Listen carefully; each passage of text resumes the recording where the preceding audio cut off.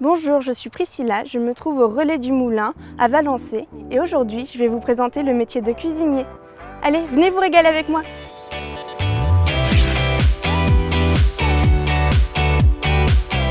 Je suis une grande gourmande, j'adore cuisiner, mais mes plats ne sont jamais parfaits. Ils sont soit trop cuits, soit pas assez. Alors pour régaler mes amis, c'est difficile. Donc aujourd'hui, je vais aller rencontrer un chef cuisinier nommé Jean-Luc, peut-être que lui pourra m'aider. Bonjour Priscilla, je suis Jean-Luc, le chef de cuisine du Relais du Moulin. Je te remets les vêtements. Ça y est, je suis prête. Et bien voilà, parfait. Mais je préfère ta toque. Hop, hop, hop, celle-ci m'est réservée pour l'instant. Tu l'auras peut-être un jour quand tu seras chef. Dis-moi, Jean-Luc, quelles sont les missions principales du métier de cuisinier? Euh, choisir ses produits, euh, avoir un contact suivi avec un fournisseur, ensuite euh, travailler à l'élaboration du produit en lui-même, donc élaboration des recettes, euh, élaboration des menus. Voilà, la gestion de stock de nos jours est très très importante dans notre métier. Ah non, non, non, non, non, non, catastrophe Catastrophe.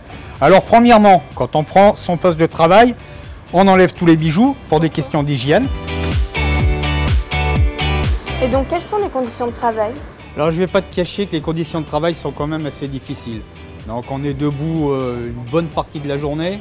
Euh, on a dans le métier des coups de feu, donc où il faut aller très vite, donc euh, qui joue beaucoup sur les nerfs. Bon ben c'est tout à fait gérable avec euh, une bonne hygiène de vie et un petit peu d'entraînement. Maintenant que je sais couper un concombre, je peux prendre ta toque.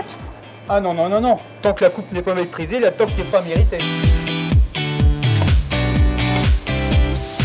Chef, j'ai fini Ah oui, effectivement.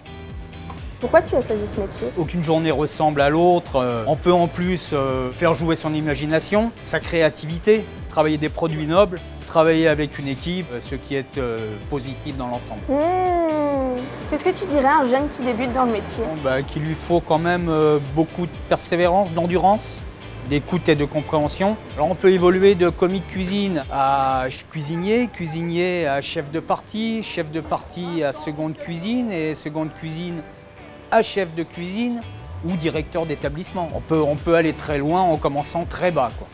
Et on a besoin obligatoirement d'un diplôme. Mais une évolution peut se faire au sein d'un établissement en rentrant sans aucune formation, en ayant beaucoup d'envie bien sûr, parce que sans l'envie, euh, rien n'est possible. Maintenant, beaucoup de formules existent pour arriver à avoir quand même un diplôme qui est quand même la finalité d'une formation.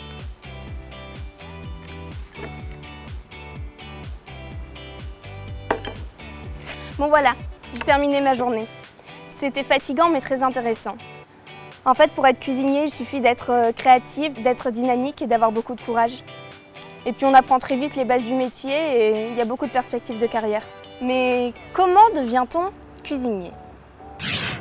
Beaucoup de diplômes comme le CAP cuisine ou le bac pro cuisinier préparent au métier de cuisinier et peuvent s'acquérir par le biais d'un emploi d'avenir. Avec de l'expérience, un cuisinier peut devenir chef de cuisine ou directeur de la restauration. L'évolution de carrière peut également conduire à un poste de direction générale ou à créer sa propre entreprise de restauration.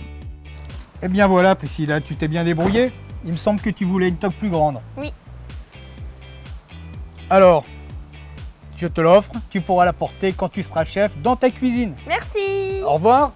Au revoir et merci Alors ce soir au menu ce sera un soufflé de avec des cuisses de caille et sa pelisse d'herbe en dessert une banane, ce sera bien.